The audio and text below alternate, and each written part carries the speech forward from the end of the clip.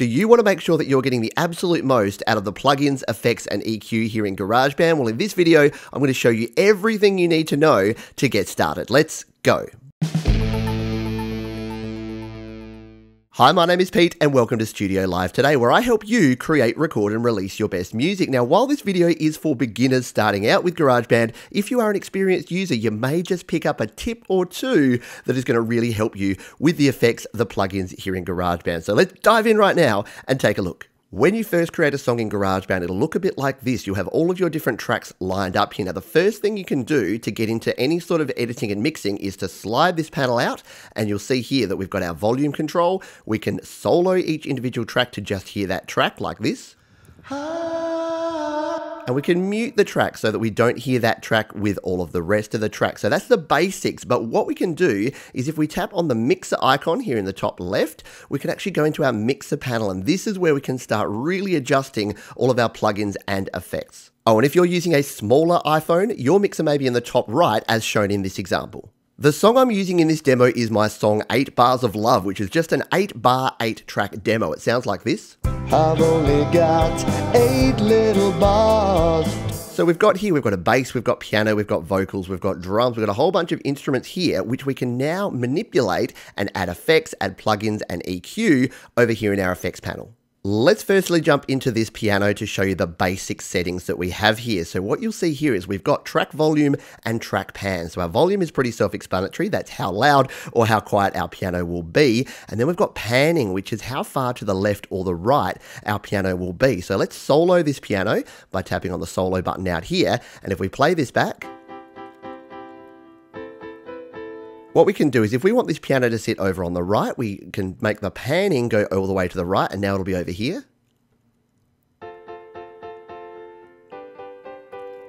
So we can adjust our panning there and you can see here that we've got our solo on. If we take the solo off here, it'll change it there as well. So these two buttons are connected and the same with our mute button. They're connected there. So if we wanted to solo the piano and hit play, or unsolo. Tell you how much I care. So you've got some basic controls at the top there. So that's all good. But then we've got the next section here, which is our plugins and EQ. Now we've got three controls here. We've got our compressor, which is just a single dial that we can dial in the amount of compression that we want. We have our treble, so we can drop our treble, which is the high frequencies, or we can increase that like so. And we can got our bass here. We can drop our bass frequencies, or we can increase our bass frequencies. So if we wanted a bit more treble and a bit less bass in this piano, we can dial that in there. Let's say we wanted a little bit of compression on there as well. Let's solo this and take a listen to what this piano sounds like now.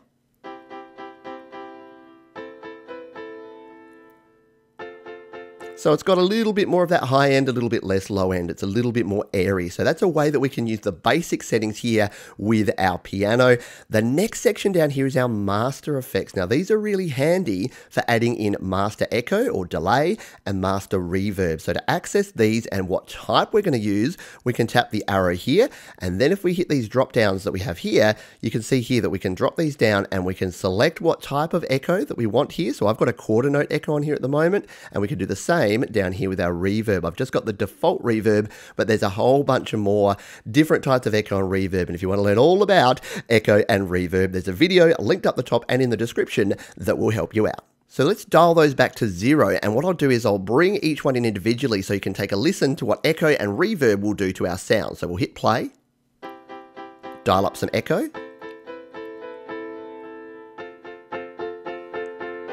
So you probably wouldn't use that amount of echo, right? You would want a little bit more subtle, but you can create that cool sort of delay sound. Let's take a look at the reverb now.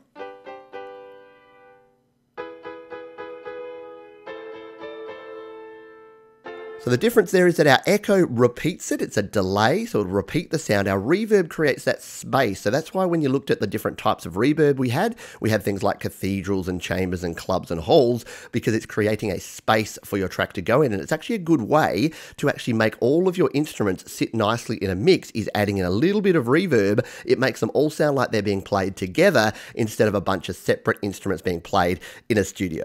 All right, so that's all pretty cool, but we're only just getting started here. There's so much more we can do with plugins and effects here in GarageBand. So what we're going to do now is I'm going to tap on the little arrow here, which will drop out our panel. And here we can get much more finite control over all of our different plugins and effects. So you can see here we've got the compressor, we've got a stereo lag plugin, which is actually an external AU plugin. We'll talk about those in a moment. And we've got our visual EQ. So they're all there and ready to go. Now, if we want to turn these on and off, we can actually press the light here so they can all be off and then we can bring them all back on there by tapping on the light. So that's how we control which of these plugins we're actually using. Now, default plugins are cool, but what if we want to actually add our own plugins here? Well, what we can do is we can tap on the edit button at the top here, and now you can see we've got all of these slots. Some of them are filled, so we've got the stereo lag there, we've got visual EQ, but we've got one, two, three additional plugin slots that we can add new plugins. So if I wanted to add another plugin, I just tap on one of these plus buttons,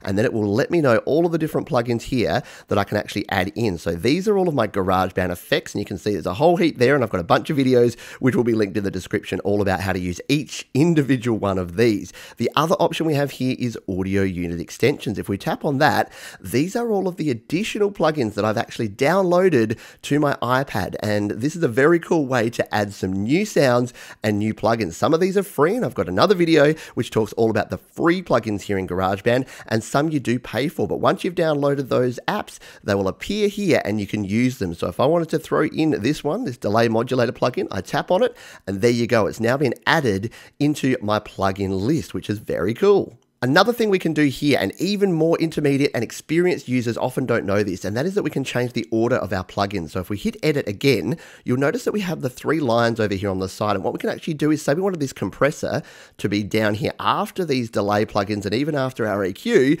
we can actually move those around. So you can actually adjust the order in which your plugins are processed. And that will impact the sound because it actually processes the sound in the order from top to bottom that you have your plugins set. So once you're done, you just hit done like that, and then you're good to go. You can now continue adjusting and editing your sound. Now, one plugin that is on every track and you can't actually remove is the Visual EQ. So let's tap on the little icon here for Visual EQ. This is our parametric EQ. So remember when we adjusted the bass and the treble, we added in some treble and we reduced the bass. Well, that is linked into here. So any changes we make on that main screen are going to impact this. So let's just show you what I mean. If I now drop the treble up here and say we wanted to add in some bass like that, and now we go done on that one, what this is going to do is it's actually going to update this back on our original screen. So take a look now, you can see our treble there is down low and our bass is up high. So these will actually link in between your front screen and the visual EQ.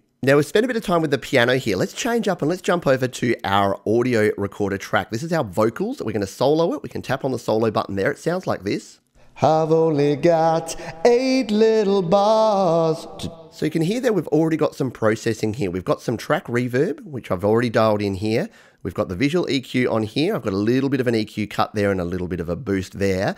And we've got a compressor on here. Now you'll notice here that to access the settings on each of these, I'm tapping on the arrow there. So I'm dropping down the little arrow and then we can dial in things like our threshold, ratio, attack, gain, and mix on our compressor. If you want to learn about how to use the compressor in more detail, once again, there's a video that's linked up the top and in the description of this one. So if we wanted to actually adjust our different settings, let's come into the track reverb, for instance, instance, say we wanted to really dial up this reverb. Let's hit play and dial up this wet dial, and we'll show you what that does. To tell you how much I love you.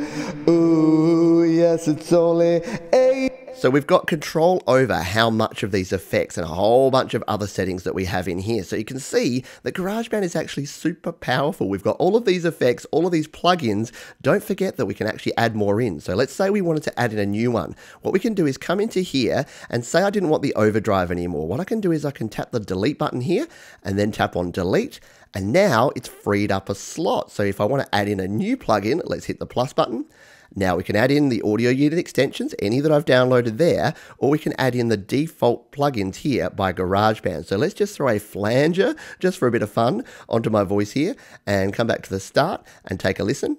I've only got eight little bars to tell you how much Sounds kind of cool, yeah. A little bit of an 80s vibe there going on with the flanger or something like that. So you can see again how flexible and how easy it is to get started. And you can turn these on and off as we've shown before. You can mix them to your heart's content and then you can come back to your main screen, adjust your main components here and get your track sounding just the way you want it. Okay, we're coming towards the end here. I've got one more thing to show you and then I'm going to give you a bonus tip here because I know that you want to take things to the next level. Now, one more thing we can do that's related to effects is our FX button. So up the top here, you may have noticed we have this button here. And if we tap that on, we get this panel here. Now, this is our DJ style effects or FX. I've got a whole video about this, so I won't go into a bunch of detail. But what we can do with this is that we can record a performance of our song by adding in some effects. So let's just show you a very quick demo here. If I uh, make sure everything's unmuted, if I hit record,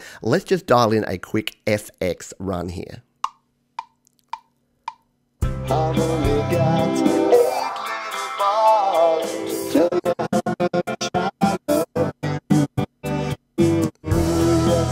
Okay, so clearly that's not the sort of effects we'd add in for a track like this. This isn't the sort of track you'd use, but if you're using, if you're creating an EDM track or any sort of electronic music, adding in some FX here can sound cool, especially for things like lo-fi, it can sound cool. Now, where does that put it? Well, if we tap that off, let's scroll down to the bottom. Here is our FX track. So it's been added in there and we can turn it off and back on by using the little power button there if we want that. So I would turn that off for now because we're not going to want to add that particular effect in here. It doesn't sound particularly good, but it's another option if you want to really add some flavor and you've already completed everything else, you've dialed in your effects, you can then do a live performance, record that, and really add some flavor to your final mix. Okay, it is bonus tip time. I've got my organ track here at the moment. It sounds like this.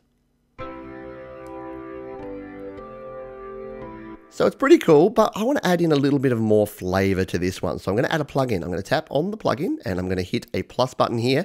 Now what I'll do is I'll come over to Audio Unit Extensions and I'm going to use this Kleverb or Kleverb by Klevgrand, which is a great little plugin here. There you go. It adds it in. We can tap on the icon there and I can dial in the settings that I want here. So we've got medium hall here at the moment as a default. Let's just hit play.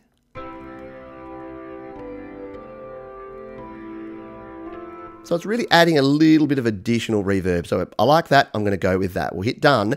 Now, what if I wanted to share this project with someone who didn't happen to have this plugin? Well, no problem. We can use our old friend, the merge function. To use merge, what we do is we tap right here on the organ track, on the actual icon of the organ track. And then we've got all these options. We're going to tap on merge and it will ask us which tracks we want to merge. We've just got the organ track selected. We're going to hit merge in the top right corner. And there it goes. It duplicates our song. It merges that track. And look what it does here. It creates an audio recorder track of that merged track. Now, the good news is it has baked in these settings. So this is a great way if, like I say, you're trying to share this with someone, they don't have that plugin, you can actually bake in those settings to the track and then share it that way. It's also good if you're using a lot of processor power. So if you're getting a lot of optimizing performance, if you do this, what's called rendering out your track, it can actually help with that. So let's just solo this now. Go back to the start and take a listen.